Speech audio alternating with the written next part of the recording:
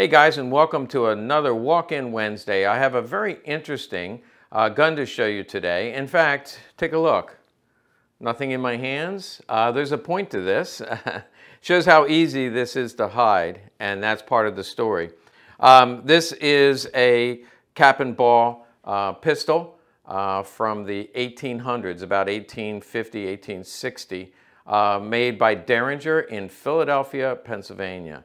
Um, now, this came in on a uh, Wednesday, uh, walk-in Wednesday. That's why we have that. But we're also going to do a little bit of education. You can tell from my props behind me uh, that this turns out it was uh, a lot more than I expected. So I really don't sell old flintlocks or uh, percussion guns. Uh, it's really outside my wheelhouse. but from time to time, people send them to us. And this one in particular, honestly, I really didn't think much of it. It just didn't impress me at all. So I said, hey, throw it on Gunbroker for a dollar and uh, see what it brings. I figured it would bring around $200. Uh, but in fact, it brought uh, over $800, which surprised me. I couldn't figure out why until the guy who bought it contacted me when the auction was over and said, hey, I don't know if you know it, but that is very similar to the gun that shot Lincoln. Now, this is a picture of the actual gun that shot Lincoln. Um, and um, let's go over some of the detail on this gun. So uh, first and foremost, let's talk about the size of this gun because uh, mine is about four and three quarter inches. And the uh, gun that shot uh, Lincoln is five and three quarter inches. If you look at the design, the engraving is very much the same. Uh, mine says Deringer Philadelphia, as does the uh, one that shot Lincoln.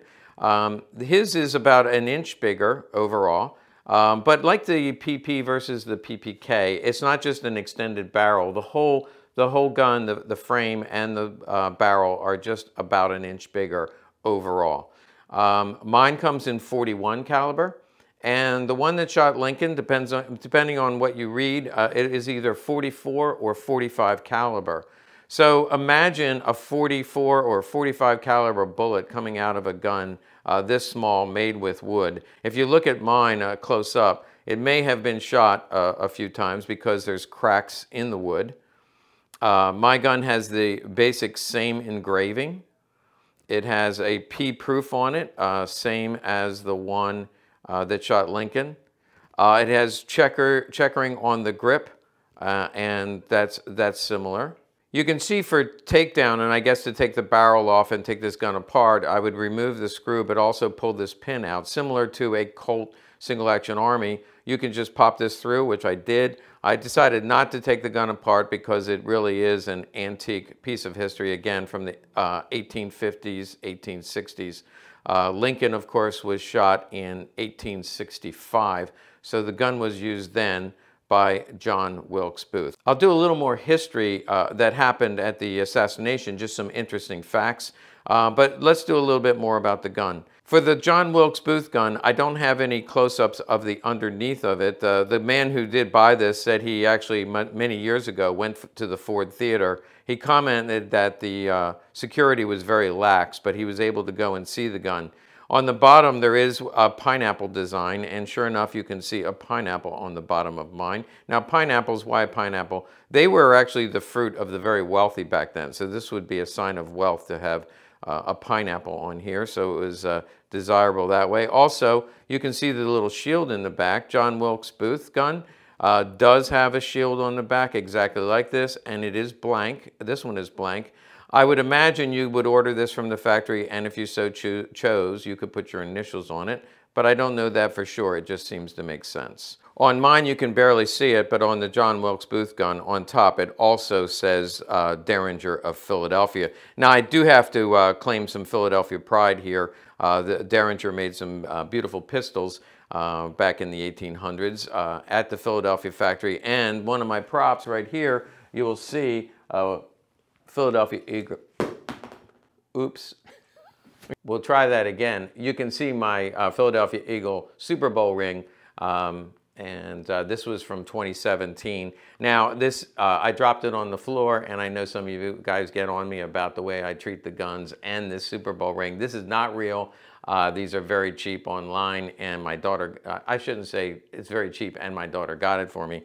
These are inexpensive, and my daughter got it for me. So a little bit of Philadelphia pride here. Now, uh, back to the gun, um, and I'll try not to drop this one. That's why they don't let me handle uh, the, the, the, Lincoln assassination gun. Um, oh, oh, John Wilkes Booth, have you ever noticed that uh, anybody who assassinated somebody, they give you three names? Martin Luther King was James Earl Ray. We know that Kennedy was shot by Lee Harvey Oswald, and there are other examples, but certainly Lincoln was shot by John Wilkes Booth.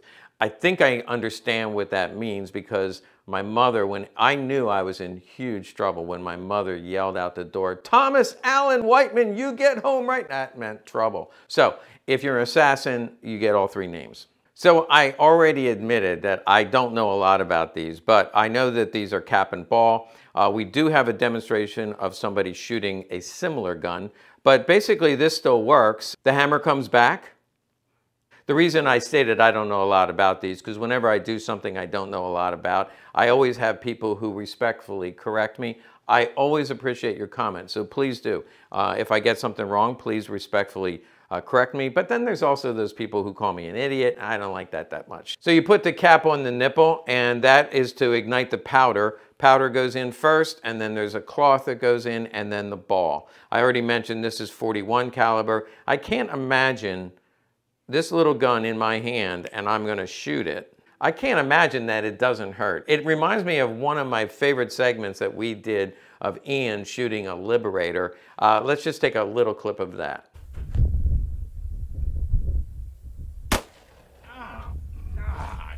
And that's how John Wilkes Booth must have felt because in fact, after he shot Lincoln and he was only about three feet away from his head, shot Lincoln, he immediately dropped it on the floor.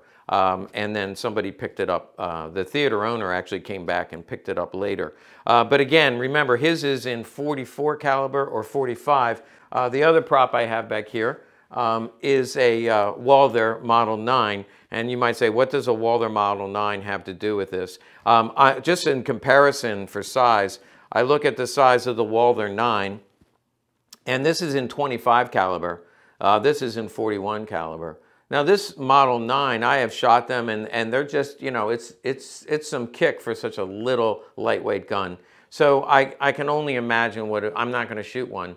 Uh, but let's take a look at somebody shooting what is supposed to be a replica. But if you look at the gun, you can clearly see that it's much cruder. Um, it's a modern reproduction and it's certainly larger than the John Wilkes Booth gun.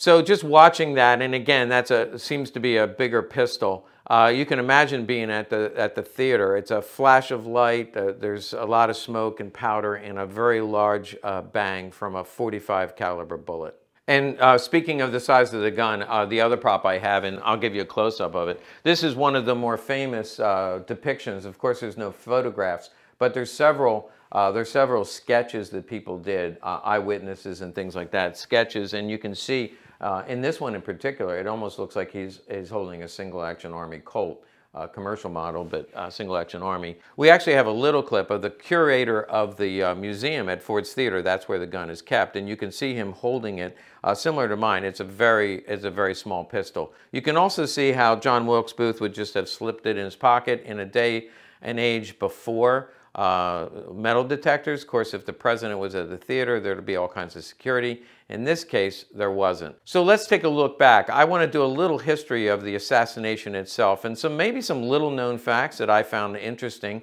Uh, there are books written about the assassination of Lincoln, and just like any uh, presidential assassination, there's all kinds of conspiracy theories, including people who think that John Wilkes Booth was a vampire and that Lincoln was a vampire killer. So please spare me um, all the internet trolls, spare me all the conspiracy theories, and uh, again, respectful comments, welcome.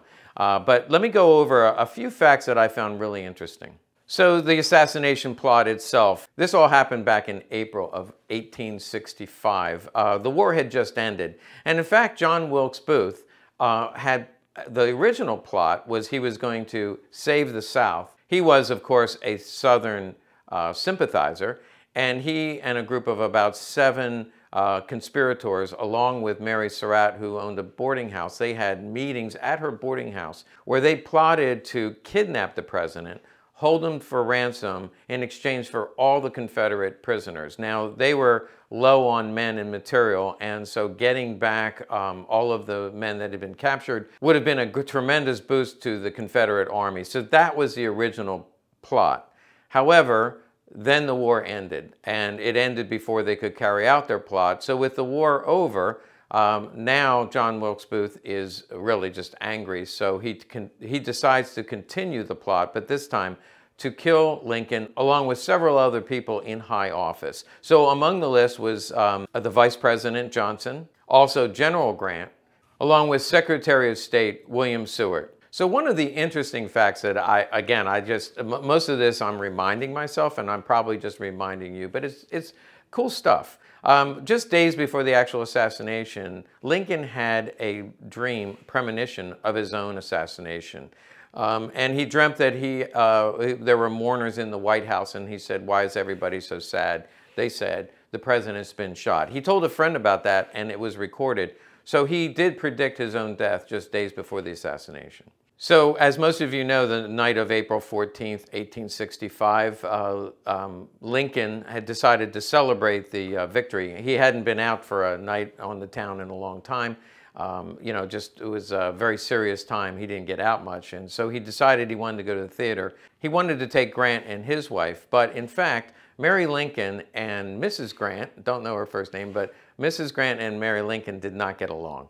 Um, now, I have uh, read in other books that um, Mary Lincoln was a little bit temperamental and not an easy woman, but uh, in this case, Grant begged out of the invitation. So instead, he in, invited Major Rathbone and his girlfriend Clara to come along with him to Ford's Theater on that evening. They arrived late, and uh, this, uh, when they uh, came into the booth, the four of them came into the booth, um, they stopped. Uh, they stopped the play, and everyone gave him a standing ovation. Of course, as the president who had overseen uh, the victory over the Confederate Army. So John Wilkes Booth was an actor of the time and actually quite famous, and they said recognizable when he visited bars and stuff. People recognized him, and he was loved by the ladies, uh, considered a very handsome man. I personally don't get it, but um, uh, he was well known uh, by the public and at the theater because he had acted there many times. So he actually picked up his mail there and saw a billet that, um, uh, that the president was coming to the theater that night.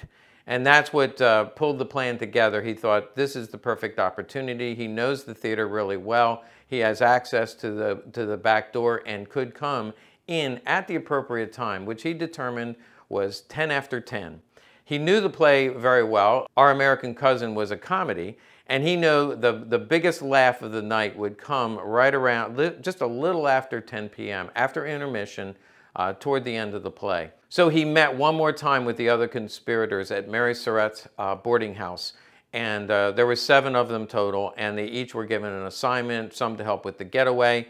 Uh, one person was to assassinate Johnson. Uh, that man in particular said later, I signed on for a kidnapping, not an assassination. So instead, he went to a bar, uh, got pretty drunk, and said some really incriminating things that uh, the bartender later remembered and used in testimony against him. Another conspirator was to kill Secretary of State Seward, and he in fact did enter his home, uh, stabbed about five people, uh, servants and, and people who were in the home, went upstairs. Um, the Secretary of State was convalescing in his bed. Uh, he stabbed him a couple times and actually cut his throat, but he was, he was actually in a brace because he had been hurt in a carriage accident, and that brace uh, saved his life. He, uh, the conspirator left and assumed he was dead because he said there was blood all over the bed, but he in fact did survive the attack. So let's go back to John Wilkes Booth. Uh, the conspiracy was that they would all uh, stage their attacks at about 10 after 10. And so he went to a bar. I guess if you're going to commit a murder, you probably should go to a bar and have a couple of drinks, and that's actually what he did. And coincidentally, um, Lincoln's bodyguard, I, I, I, don't want to laugh about this, but this is so comical. His regular bodyguard had the night off or was uh, um, indisposed. But they instead got uh, one of the uh, local police detectives off duty, paid him to be um, uh, Lincoln's bodyguard, when in fact he had something like 17 disciplinary actions against him. There was a door to the booth, and he was to sit outside and guard the president to keep anybody from coming in. At intermission, he went to the bar, and he sat there and had a few drinks and actually completely um, missed the, uh, the, the whole assassination. John Wilkes Booth, coincidentally, was in the exact same bar having a drink, waiting to go over, which he did at about uh, 10 after 10. He headed across the street to Ford's Theater. John Wilkes Booth, who was of course known to everybody who worked at the theater, slipped in the back door. There was a guard there who let him in, thought there was nothing unusual. Uh, John Wilkes Booth was a frequent visitor at the theater. He uh, walked in with his little Derringer easily fitting in his pocket. Uh, he walked right into the booth. Um, it was the time of uh, the com comedic line when everybody, there's a lot of noise, so he was able to walk in the, the back of the booth uh, without being detected. And just um, about three feet from Lincoln's head, he pulled the trigger. Of course, you get one shot and you're done. He immediately dropped the gun and then he was going to jump out the booth and run across the stage. I think uh, as an actor, one final act, he wanted the uh, glory of running across the stage. But as he went toward the front of the booth, Major Rathbone grabbed him and tried to stop him. He grabbed his dagger and stabbed Rathbone. He was not seriously hurt. And then, of course, as you know, he jumped, uh, jumped to the stage and he yelled, death to the tyrants and uh, ran off the stage. There were people who helped him with the getaway. We know he got across the bridge um, into Maryland, and um, he knew that area very well and probably knew Dr. Mudd, uh, Dr. Samuel Mudd. They went to his house and had his uh, leg treated and splinted, and they moved on from there. Uh, of course, the end of the story of, unless you're a conspiracy theorist, uh, end of the story, uh, he was caught by Union soldiers at a barn. They burned the barn and shot him. Uh, the other conspirators were all rounded up very quickly, and almost all of them were hung, including Mary Surratt, was, who was the first woman to ever be executed uh, by the United States government. One conspirator uh, got away. He escaped um, to uh, Canada and years later ended up in Egypt where he was apprehended in time. So all of the, most of the conspirators were hung. I believe there was about eight of them that were hung uh, and that included people who helped them escape. Uh, others were given life sentences. Dr. Mudd was given a life sentence. I actually made a movie about Dr. Mudd. And one more thing from my past.